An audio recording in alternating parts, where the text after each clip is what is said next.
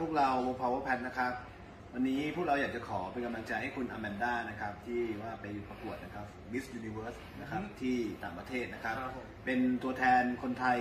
อ่าไปแข่งขันประกวดนางงามนะครับ ก็ขอให้ได้มงกุฎนะครับ นางงามจักรวาลกลับมานะครับ เป็นของขวัญให้กับคนไทยด้วยนะครับ ขอให้โชคดีมีชัยแล้วก็สมหวังอย่างที่ตั้งใจนะครับ โชคดีครับ เป็นกำลังใจให้ครับ